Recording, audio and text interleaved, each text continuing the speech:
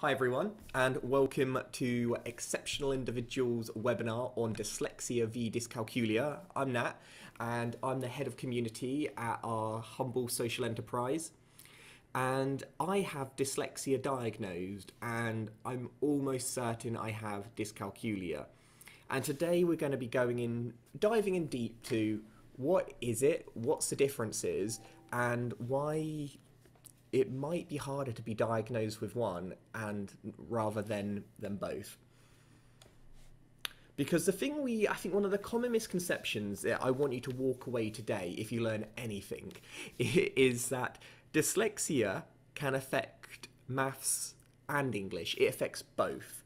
And dyscalculia is not dyslexia of the maths world you know that, that those are the common, the most common things. But if that's not the case, what exactly is it? If dyslexia can also be trouble with maths, and dyscalculia isn't even trouble with maths, what is it? It's a, it's a fine distinction, but we'll go into it. But do remember as we go throughout, there are going to be slight contradictions because the definitions overlap a lot and the differences are sometimes quite minor, but sometimes quite profound. For example, you can have dyslexia and not have dyscalculia, and you can have dyscalculia and not have dyslexia, though the likelihood of having them both is quite common. And uh, it's a bit of a tongue twister, all these disses, so apologies if I end up saying the wrong one. So, as mentioned, at this organisation, um, we are a social enterprise, meaning we support people because we actually care. um, so, everything we deliver to individuals is always free, and we're able to run because of the work we do with organisations, which allows us to fund this part of the business or organisation. And we mainly support uh, neurodivergence, so things like dyslexia, dyspraxia, autism, and ADHD but that's only the top of the iceberg when it comes to neurodivergent conditions. There's also dyscalculia, which we'll be talking about today, dysgraphia, Tourette's, OCD, there's a whole spectrum of it. But I like to do a quick definition because when we talk about neurodiversity, a lot of people think we are talking about just autism, when in fact, neurodiversity is a whole spectrum of diverse thought. So, neuro, brain, diversity, everyone. So everyone you've ever met has neurodiversity, but it's when we're talking about things like neurodivergent, it comes under the things we're going to be discussing today. And if you hear the term neurotypical, that relates to people who have the predominant way of thinking. So, most people in society. Oh, Joey says, I know there's a thing called hyperlexia, but is there also a thing called hypercalculia? Just curious. Well, Joe, it's interesting because I have found reports where that is a thing, but not much information on it. So I would imagine there probably is, but I'm definitely not an expert on hypercalculia. if any of you have never heard of what hyperlexia is, it's in some ways it's the opposite of dyslexia. It's when you are really beyond your years good at reading from a young age but it might mean that you also struggle with verbal communication. So you could have a delay in early age when it comes to speaking, but when it comes to writing, reading, you tend to be way above your peers. It does tend to become less prominent and noticeable as you get older. This is why not many adults are diagnosed with it. I personally haven't met a single adult that has been diagnosed in adult life, but quite a few people who were diagnosed younger and you know it has continued. But interestingly, hyperlexia is more closely aligned with autism than it is dyslexia, despite the naming. Oh, Megan says, I got diagnosed with slow processing skills, but not sure if that's classed as dyslexia or anything else. Okay, Megan. Well, typically on that, it's sometimes you might not have all the characteristics of dyslexia in order to come under that, that diagnosis. So they might do like things like slow processing, um, learning disability, general processing condition. It's sometimes it's just due to who diagnosed you. Other times it's about what criteria you kind of matched on. But what I would say is maybe the labels labels aren't so important. It's more about if you resonate with some of the things we're talking about today, then a lot of the support strategies which have been known to work for those characteristics would also benefit you, regardless of uh, a few words on a bit of paper. But that's just my view.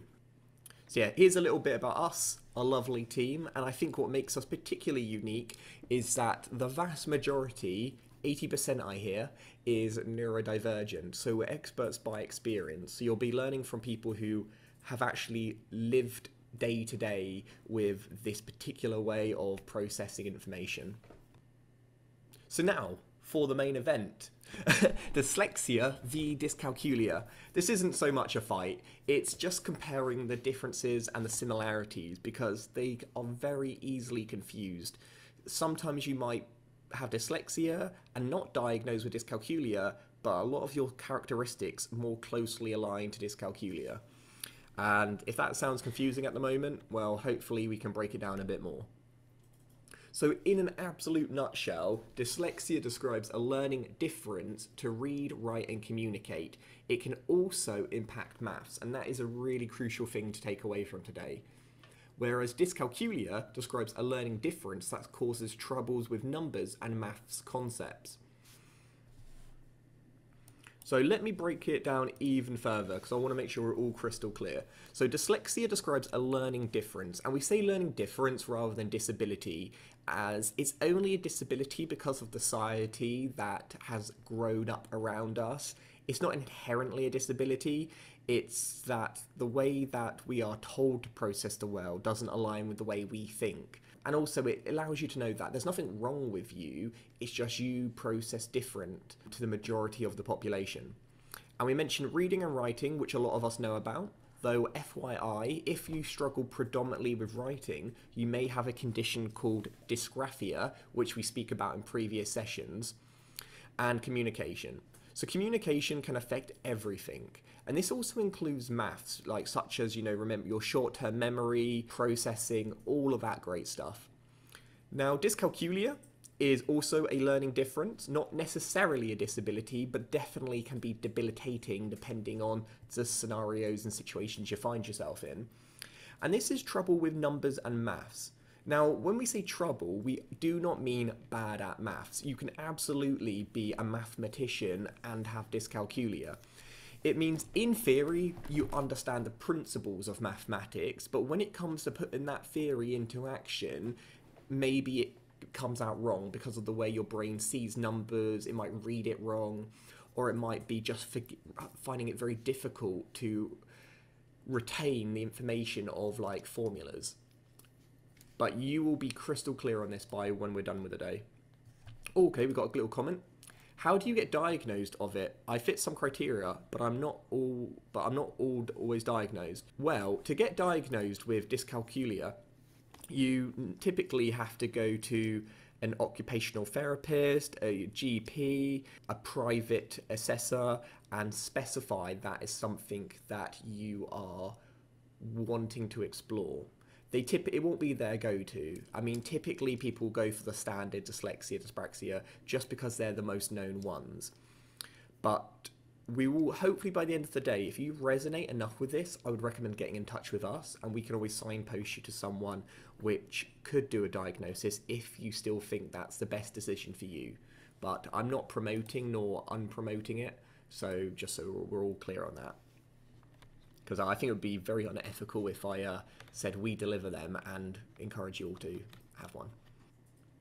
So first of all, I'm going to ask you all some questions just to get some empathy going and to put in a real world practice what does it actually mean to be dyslexic or dyscalculic. So the first one I want to ask you is do you miss words when reading? So when you're reading a book, I'm not saying you can't read, but do you ever skip words? Yes or no? And of course we all do it from time to time, but it's more about the frequency. Because if I was to tell you all these characteristics, you would probably say yes, yes, yes, yes, yes to all of them. But that doesn't mean that you are. Like, just saying you're depressed today doesn't mean you have depression. A lot of the time, it's about the frequency and severity of how those characteristics affect you. So let's say you're, you're always missing words out when reading. Well, that could be a sign of dyslexia. So when it comes to reading, phonologics, breaking words down, sentences, this is definitely dyslexia. This isn't dyscalculia. Again, take everything I say with a pinch of salt because they all overlap, but this is normally what we refer to when referring to dyslexia. So the example we've got here is skipping words, sentences, or even several lines at a time. A very uh, common characteristics of those with dyslexia is kind of inserting their own words. And you might think, why is the brain doing this? This makes no sense. Well, actually, it kind of does because evolutionary, we've always been programmed to find the quickest answer to the problem before anyone else. So we're able to skip a word and still make sense of the situation. Our brains will do that. Unfortunately, when our brains was developing this really great characteristic, it didn't. No one told it that the industrial revolution was coming and reading and writing would become essential. It would be right or wrong. There wouldn't be much room for grey. And I think that is the dyslexic brain.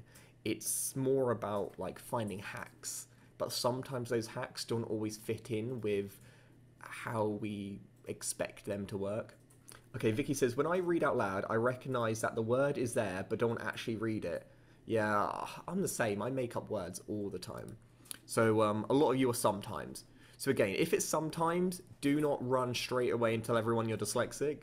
It's typically if it happens almost always. But do know that a lot of these characteristics, though they you are born with them, you die with them, they're lifelong, they can change severity depending on your life situation. So let's say you're really stressed or under, you know, sleep deprived, you will notice you miss out words more often than what you would do, say, if you were fully calm and relaxed.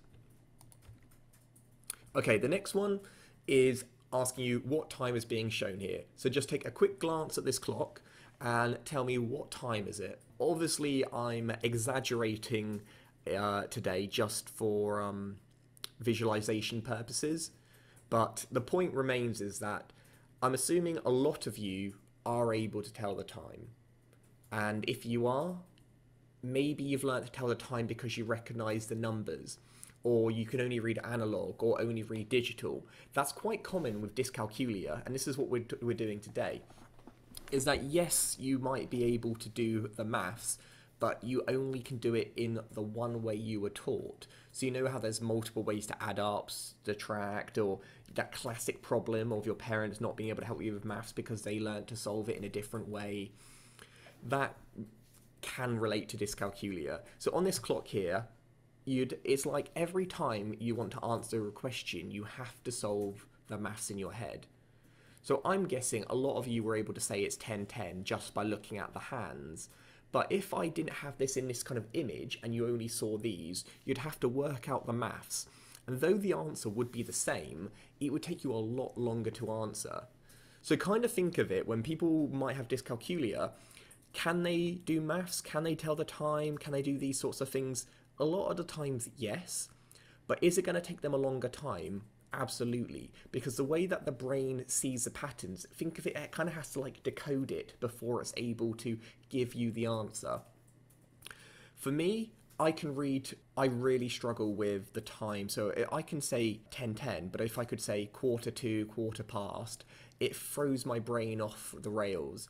Or if you give me a 24 hour clock, yes, I can work out. I normally take the time and I plus two, but it takes me longer.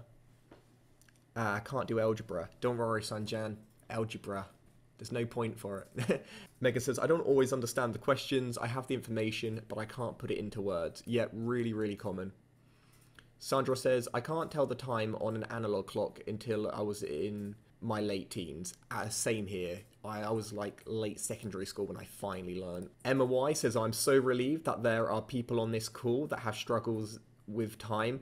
I've spent years trying to learn how to tell the time. And again, it's not your fault. It's not due to lack of intelligence. It's just due to the way that your brain processes information. So rather than pushing yourself to learn a type which doesn't suit your way of learning, find an alternative way. For this very reason, I never wear a watch because people always ask me the time and I panic because uh, I can't tell you it on the dot. It would take me a few seconds to process. Yeah, so Kelly can tell the time but by memorizing the hand positions. So it's just a different way of doing it. Whether you look at the numbers, whether you remember the shapes. Oh, Mike says my wife has never been able to understand left and right, but it's but is brilliant apart from that. Yeah, really common that's something that again I really want you all to remember that both of these two ways of thinking do not relate to intelligence, and that's really important. Okay, the next one is this is just more of a statement than a question. Is what are the possible social and emotional impacts of both dyslexia and dyscalculia? Because we often talk about what it mean, like what are the characteristics, but what are the actual impacts? So with dyslexia, those with dyslexia may have a hard time understanding jokes or sarcasm, taking extra time to come up with words or to answer questions that can make fitting in hard too. This is interesting because this sounds like autism, doesn't it? About struggling to understand jokes and characteristics. But this is something that we don't realise is that it all overflows. Because dyslexia can be uh, like skipping words, a lot of the time jokes are like little puns with words, they might be the odd spelling, things might be done in a different way. So I'm not saying all jokes, but maybe like when you're reading a joke, you don't you don't get it because your brain has missed that punchline which is different to why autistic people may struggle with jokes. So sometimes the output can be the same, but the way you get to the output can be quite different. Then we've got dyscalculia. So those with dyscalculia might also avoid playing games or sports that involve maths and keeping score. And this is an interesting one because we often associate, you know, not liking sports with things like dyspraxia, which is about fine motor coordination skills, but it can also affect those with dyscalculia. Not because they're probably bad at sports, but because they might have to do maths, it's really difficult. A classic example is I uh, I love playing with darts, you know, but I hate the game darts because you have to do all the maths in your head. So I will actively avoid it at all costs. Or I might do a game like around the clock where you just go one, two, three, four, rather than having to do any sort of maths in your head. So if you find that you naturally avoid those sports for that reason, it might just be because it doesn't come naturally to you and maybe you're very you feel insecurities about how people might perceive you. Yeah um so sanchez i've always avoided playing darts because of the scoring. Honestly it's awful. Uh i like going to I don't know, in London somewhere, there's this uh, pub where they have like those electronic dartboards and it adds it up for you. And uh, what a game changer. Oh, yeah, Emma says, I've always avoided being the banker at Monopoly. My kids laugh, but it makes me feel worse. Do you know what? I'm the same. One, because I cheat. but um, two, it's just the, the banker is, you know, because when you give people the wrong money, it's just it's just too much going on. And it really isn't to say that you couldn't be the banker if you had all the time in the world, but for a fast pace of the game, not going to work for you. It's the same way like I can't do Scrabble for my dyslexia. Gillian says, I have found as I have got older, when I could do some minor calculations in my head, it just gets stuck in my head more than ever, even using a calculator. And that's really common as well. It's sometimes difficult to say about when age is you know, is it due to dyscalculia or not? It's hard to say, but all these things are interconnected, so I try not to see them as individual. Alright, now back onto question time, and we got Hello Kitty to help us on this one. When writing quickly, I miss out dot dot dot. And this, as you may have guessed, relates to dyslexia, not dyscalculia. But rather than just telling you that it relates to it, I like to explain why. So missing out letters is quite common. It's um you know, I've been doing my family tree lately, and one thing I've noticed, the further you go back in time, the more likely it is that people have different spellings of their surnames. Because to be honest, people didn't really care. Well, it, that's not the full truth, but I don't think people cared as much about the correct spellings. As long as you understood it and it sounded the same, people cared more about the sounding rather than the spelling. But we've become a bit more like there's less flexibility these days, particularly with uh, like that we do things digitally. So it's not uncommon. Missing words, again, not a surprise because our brain is always looking for the fastest answer, and sometimes words might be deemed as irrelevant or not necessary think of like the dyslexic brain as like someone who does shorthand you know, we don't need to write every single word in order to read it back and understand it. The difficulty comes though when someone else wants to read it back and can't. Or the difficulty comes when we can't even remember what we wrote. And, and that's the thing. I'm sure, have any of you ever been told, what you mean you can't read your own writing? No, no, definitely can. Because you've got the challenges of short term memory and the challenges of skipping words altogether. So then it becomes a bit like a puzzle solving your own writing. Capital letters, yep, even if you've been taught in school. So the key thing here, this isn't because you haven't learned in school that capital letters and full stops are important. It's because you your brain just doesn't see them as necessary and will skip them. So if this is something that always happens as an adult, it comes down because you've got you're in your brain you've got like lots of neurons right and you've got pathways that essentially think of them like telephone wires that sends the information and every time you send an information it's like working out and it gets stronger and thicker. Uh, so the more you do something the more it's reinforced. And that's typically how we learn. But it can also happen in like the less productive way. So if you're always missing out full stops it actually gets harder and harder to correct that pattern or repetition the older you get. So uh, this is why using software like Global Autocorrect or Grammarly can be quite useful as an adult because I know my brain isn't going to learn that now, so, so I'd rather it just corrects it. Megan says grammar and punctuation's the worst for me. Kelly says, I took an exam once, handwritten, and finished much earlier than everyone else. I made the mistake of not reading it all back carefully. I did not score as highly as I thought I would have done, and talked to the professor. She handed me back my paper and made me reread it. I left out entire parts of the sentences and bits read as gibberish. I'm always amazed as well. Like I can read things and like it's it's perfect. Uh, but then when I like get my computer to read it, I've missed out so much. This is why I use um, text to speech software a lot because it really does help with comprehension. Okay, now for our maths question. How far from New York will it be when the two trains meet? So the, the question is, if train A leaves Chicago traveling 100 miles per hour and train B leaves New York traveling 150 miles per hour and the distance between the two cities is 600 miles, how far from New York will it be when the two trains meet? Good luck if you can do this. I have no idea myself. Yeah, Kelly says hates this type of question. It makes no sense. Vicky, you lost me at train. yeah, this is again. I'm I'm not doing this to make any of you feel dumb or silly. I'm purposely doing more difficult ones to demonstrate how what dyscalculia can look like. So, let's say in theory, a lot of us maybe could work this out, but when it comes to solving the answer, it, particularly in our heads, we can't do it because oh, think of it like okay, so the brain is thinking of one thing. Oh, sorry, you can't see. Then think of another thing. Then think of another thing, and it's like you're kind of like you're holding so many things, and it gets confused and juggled up. And before long, the brain drops it all, and then you have to start again. So yes, some of you may not be able to work this out because you haven't learned this type of maths.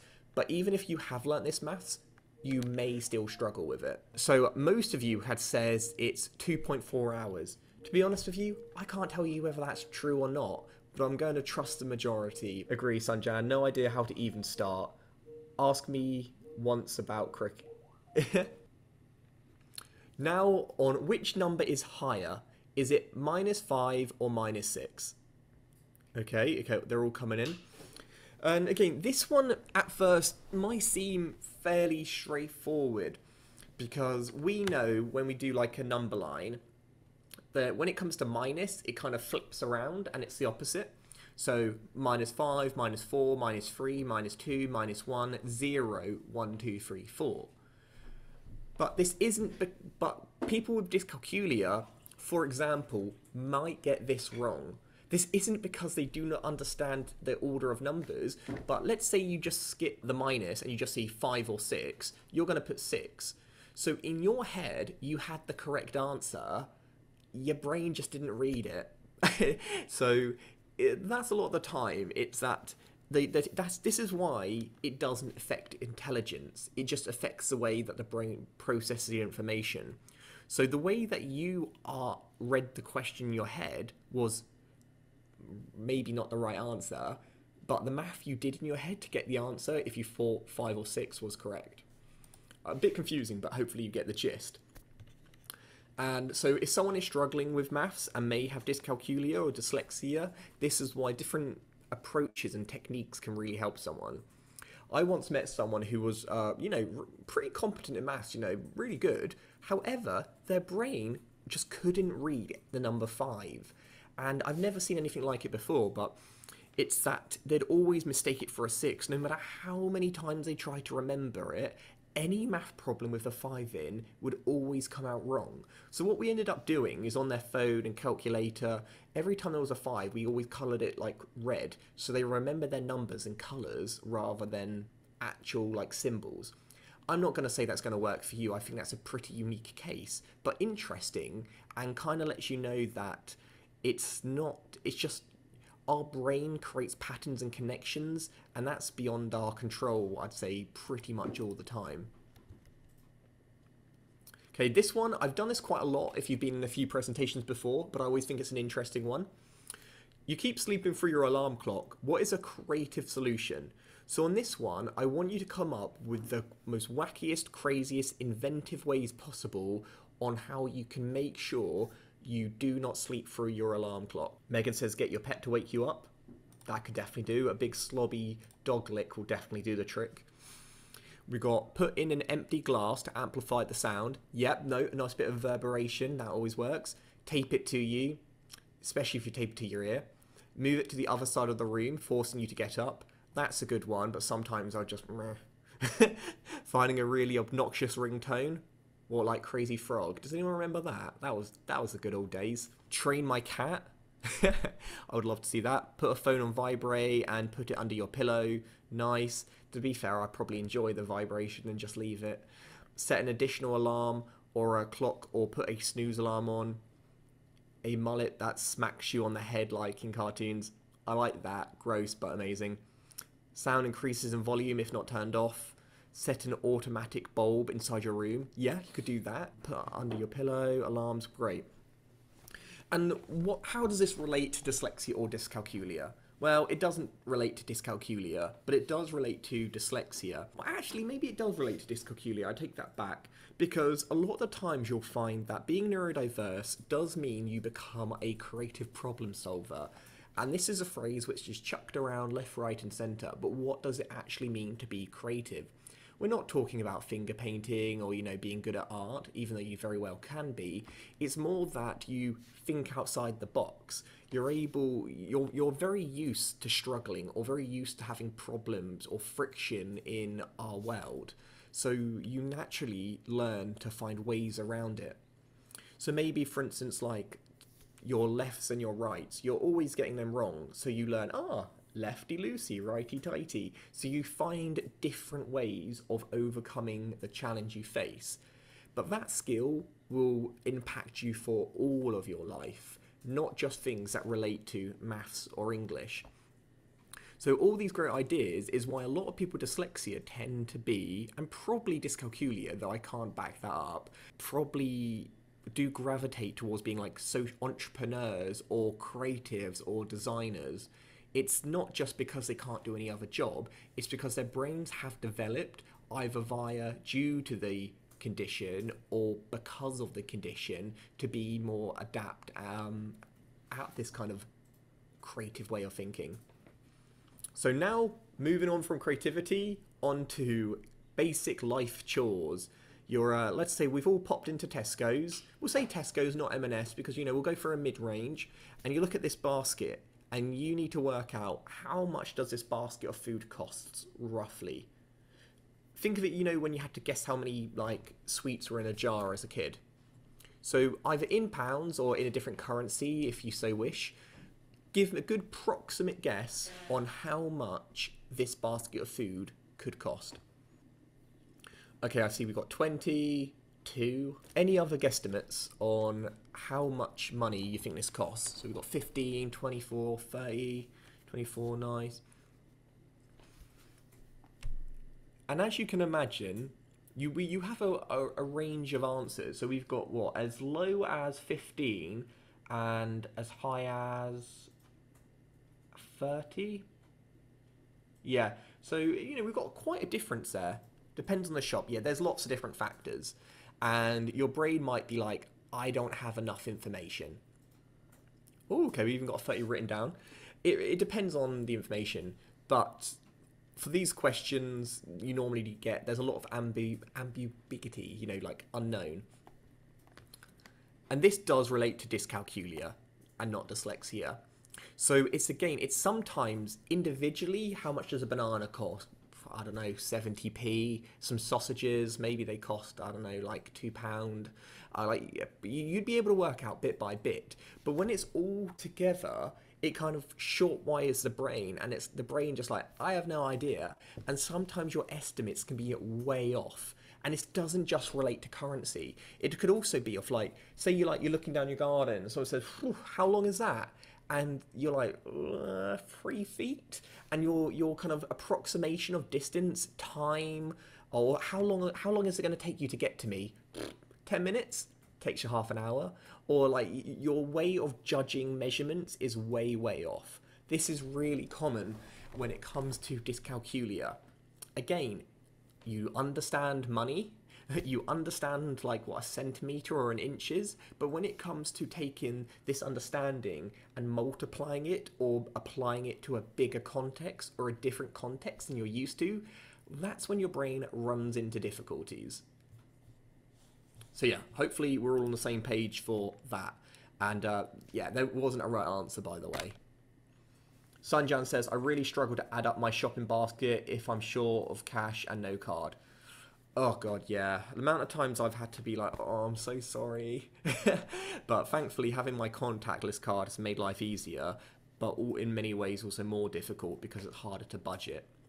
It's why if any of you do struggle with budgeting, this is actually, you know, strong links between dyscalculia and dyslexia when it comes to budgeting.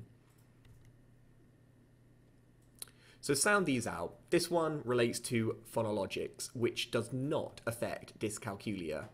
So hopefully you're starting to see the, key, the things that are similar, but also the things that are different. So we've got supercalifragilisticexpialidocious from Mary Poppins, classic if you've always struggled to pronounce it.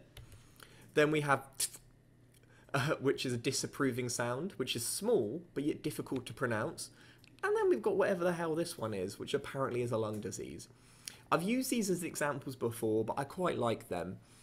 And the reason why this is the biggest word well, no, it's the second biggest word, but we may be able to pronounce that. It's just because we remember it from Mary Poppins, so it, you know, we remember uh, verbally. The second one is small, but because we've never seen those certain words together before, we don't have like the algorithm or the pattern to be able to read out. And the last one, it's just too like our brains just like it look at it and it runs a mile and just won't even attempt it. And this is kind of very much dyslexia. It's not people who cannot read, but it's the way we read is different. And as such, it makes reading longer words, which can normally be broken down into segments or phonologics, very, very difficult. Uh, yeah, so it, it's also, Megan says, can't pronounce my R's, says W instead. That's also really common as well to mispronounce words. Uh, it's there's multiple ways of why you mispronounce. Either the muscles like haven't like they're not working as fast as they should be. It could be that the mind just didn't learn them and then it just repeated what the way again and again and again, or um, it's like the way you pronounce the words. So there's multiple reasons why we pronounce words. Uh, you know, I don't like ever saying the word wrong because it depends who you're asking. You know, we, you know, if you live in like Edinburgh, as some of you do, to Lown in London, we do pronounce words different, and that's because of dialect and how things were done once and repeated time and time again. It's only when you do not pronounce the words in the way that most people do in your area. So again, if you pronounce words different, if you live in a new place from where you were originally brought up, you're not pronouncing it wrong, you're just pronouncing it different. I'm sure there's some instances where that's not true, but you get the gist. Yeah, that's because you're not from God's country. uh, with extremely long words, I always pronounce wrong, especially vowels. Yeah, it can depend on certain words, like tongue twisters, I really struggle with. Another dyscalculia one, and I want you to put these Roman numeral symbols in order. So have a look at them. So whichever one is comes first, put as a number one, and whichever one comes last, the number five, put at the bottom. Okay, great. One. So we got one, four, five, six, ten. Nice. So yeah, I think as a group, you all got this correct, and I think so anyway. but I, this is something I can really struggle with because again, most of us can count to five, but some of us may particularly struggle with this. Why? It's because it's a different way of displaying the information to what we've become accustomed to, and our brains can struggle. Remember when we were looking at the clock earlier on? So if you change the patterns or the symbols, or there's like alternative ways of writing the same thing, that's when you can kind of trip the brain up and it can really struggle. The only way I remember these is through Grand Theft Auto, um, but also the four and six are the ones I really struggle with, and it's just because they're so similar. Like one v, I don't know. Yeah, Megan says I struggle with foreign languages. Really, really common. If people say, "Oh, you're just being lazy," you're not. Dyslexics really do struggle with foreign languages, and it's you. It's definitely possible, but I'm just saying maybe it's going to be a bit more of an uphill battle than those who do not have it. Uh, maybe I think you can hopefully see now the similarities between dyslexia and dyslexia and dyscalculia. Though they are very they are separate conditions, you can kind of see how getting this wrong and foreign languages are quite similar because it's saying the same thing. Hello, bonjour, hola. They're, they all mean the same thing, but because you have to kind of think about placing them in the right order, it can be quite confusing. It's why some people who are dyslexic and multilingual, know more than one language, might, you know, kind of like every now and then insert the wrong language into a sentence that they weren't intending. Stephen says the V is five, I think. One before is less, and one after is more. Good. I always struggle to remember this. Oh, Megan, I get you. I can speak sev- speak several, but I struggle with the numbers in all languages. Oh, Kelly, that's a really good example, actually how the math affects you, but not the uh, the language. You the, I want to say English, but obviously wouldn't be English. So here we are. The what specialized instructions or technology can help? Great, Nat. You've told me uh, my brain doesn't work the way that the rest of the world works. What can I do? Well, there's a few top tips for dyslexia. Get particular instructions, specifics. I always struggle with pronouncing that specific instructions on identifying sounds. So if you can find like ways of recalling, like um, I always remember the word said, like Superman and I dance, so I might create like little tips or little kind of like puzzles that help me decode it. Reading programs can focus on using all your senses to learn. So one way I've learned to read is I listen to audiobooks and I'm reading at the same time. So I'm hearing and seeing, so I'm getting multiple senses. Or you might use Braille, or just any way which makes it a more engaging experience. Text to speech tools, I use this on a daily basis. I highlight it and I get it to read it to me not because I can't read, but because the way my brain reads is I miss out words. So this is a good way to just double check that I'm reading everything which is needed to be read in order for me to answer the question that is being asked. And when it comes to dyscalculia, to be honest, a lot of the support tactics will work for both, but different instructions on retrieving math facts. So you know the maths, you learn the facts, but you struggle to recall it or to remember it. So is there a way of like recalling it? Uh, a great example of this is you know with the like the greater than or less than symbol i always remember it as a crocodile eating the bigger word so the bigger the number the more likely the crocodile is to eat it i'm sure you've all got similar things that you've learned or used in the past being taught strategies and teaching with multi-sensory approaches. So an example of that is maybe you have an old-fashioned abacus, or maybe you count using fingers. So you're finding a more visual, more hands-on approach to remembering. It's why some people prefer analog clocks because it's more tangible than a digital clock, you know, but we're all unique. Oh, Vicky says, at school, my dyslexic friend taught me to spell necessary. Never eat cakes, eat salad, sandwich, and remain young. I still use this today. Brilliant. Yeah, I, I love that. Stephen says, My brain processes correctly, but I sometimes type a totally different word and think, where the heck did that come from when I read it back? Do you know what? We might not always know why our brain works the way it works. I try to give explanations about why these mistakes commonly occur, but truth be told, like, it's there's still so much to learn. So, accommodations that can help with dyslexia.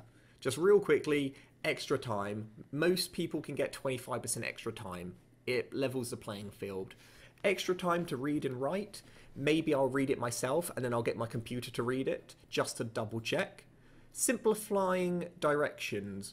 This isn't to like say dumb it down, but rather than taking a complex problem like the train problem about when it leaves the station, you do one part first, then the next bit, then the next bit. So maybe you're breaking it down differently or using bullet points. Audiobooks are absolutely great. It's still reading, it's just a different way of reading. Ultimately, do you get the same information? Yeah. So does it really matter how you go about obtaining that information? I don't think so.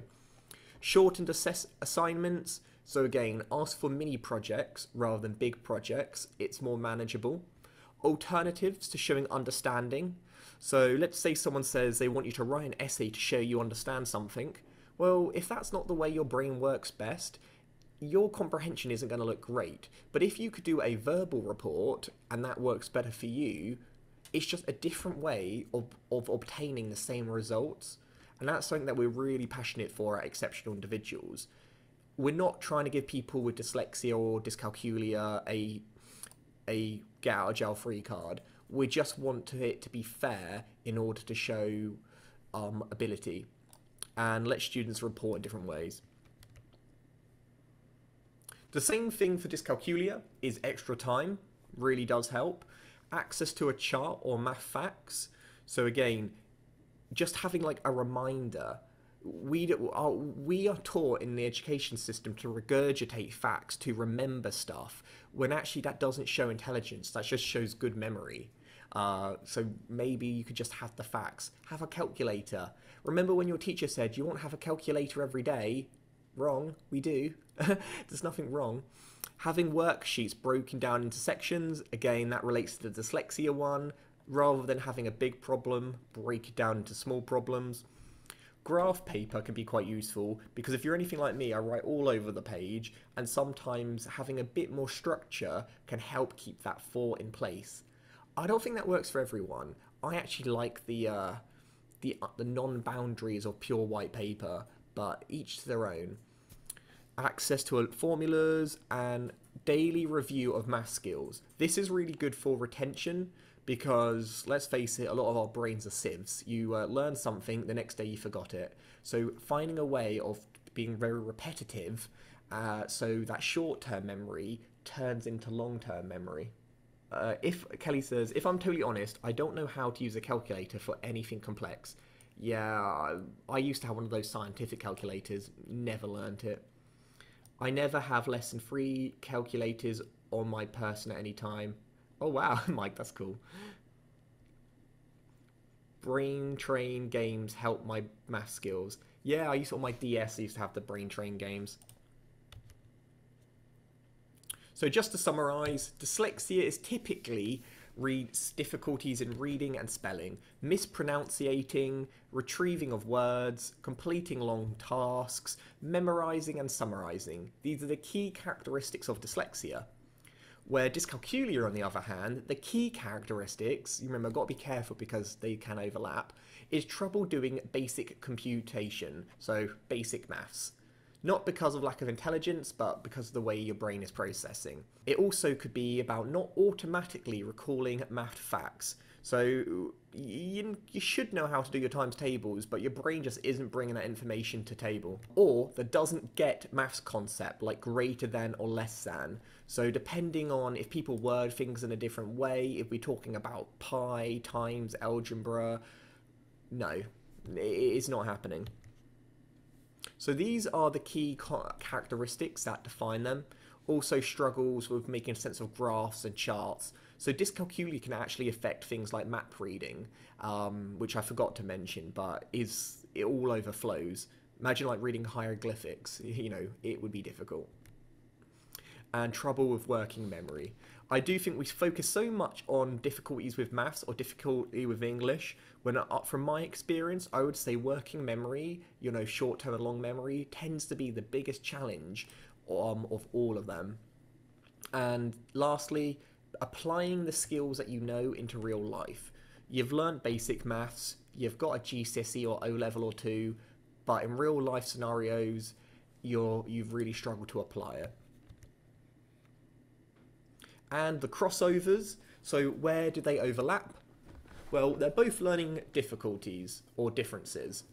So, yeah, different ways the brain learns. Most dyscalculic adults also have dyscalculia. So, it's very common to have both. Not definitely, but common.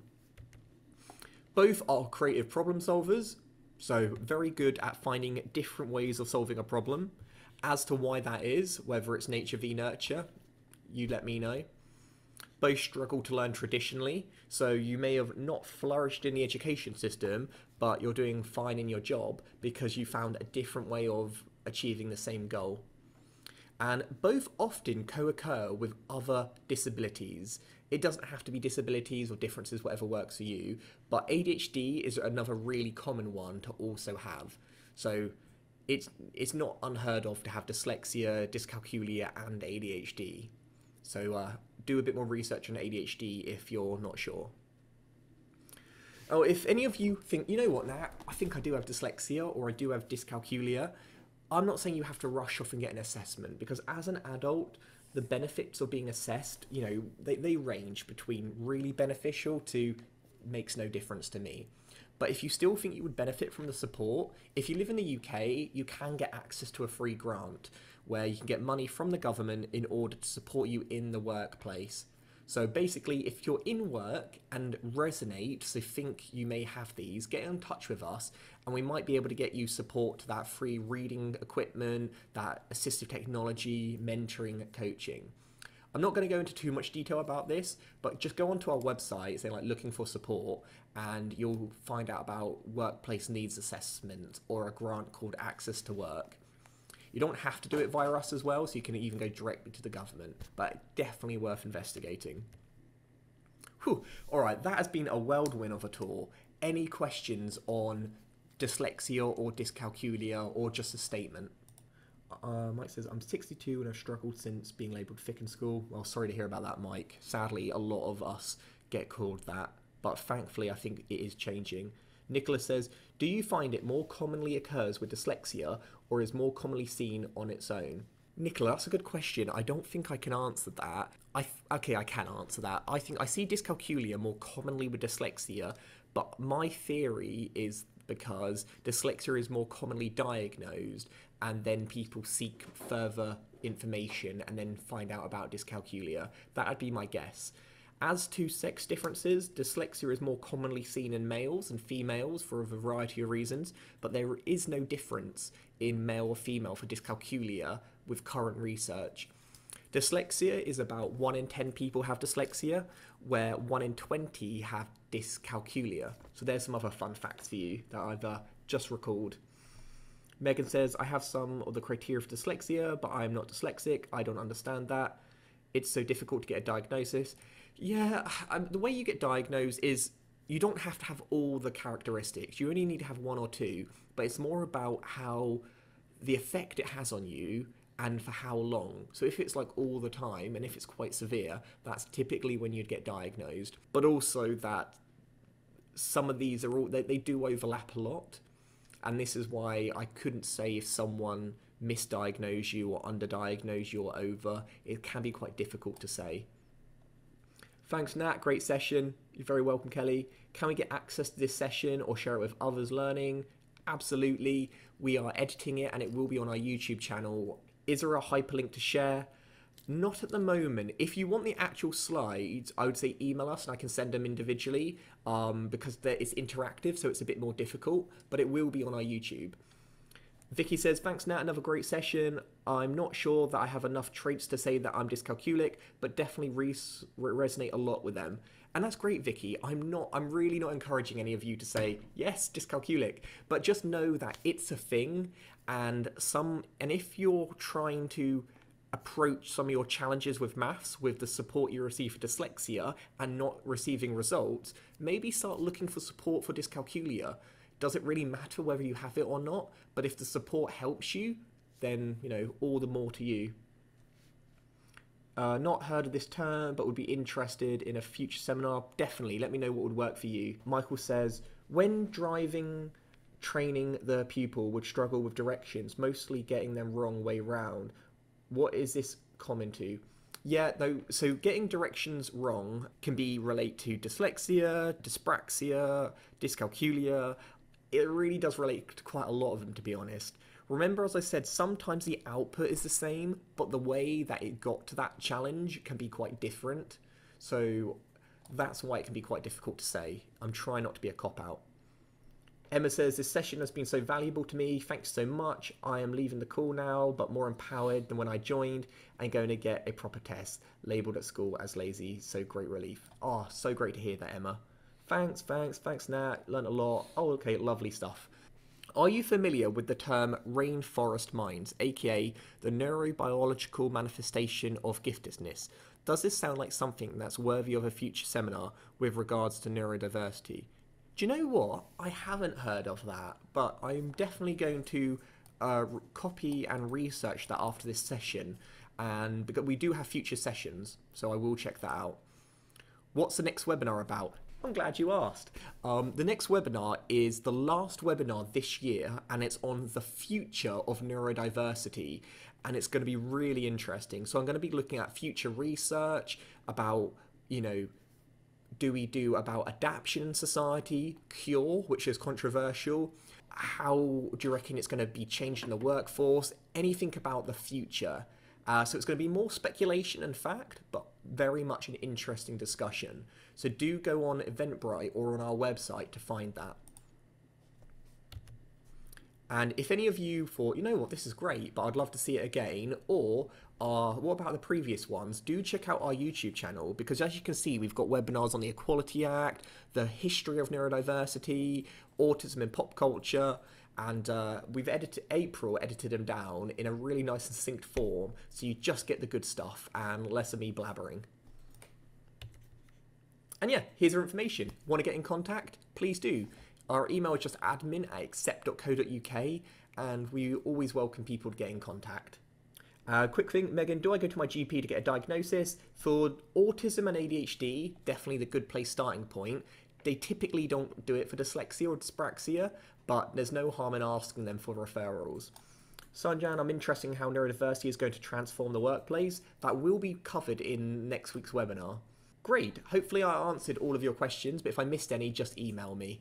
But that's enough for today, so I hope you have a great rest of your day, everyone. Cool. Bye.